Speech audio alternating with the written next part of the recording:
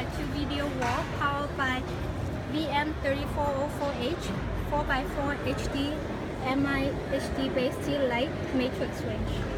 Um, so you can see we have four um, HDMI input and four HDMI output as well as HDBaseT output.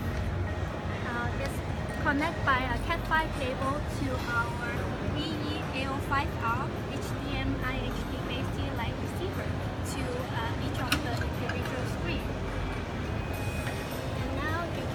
can uh, Award uh, winning web GUI to create profile and do scheduling. And here is the awesome video wall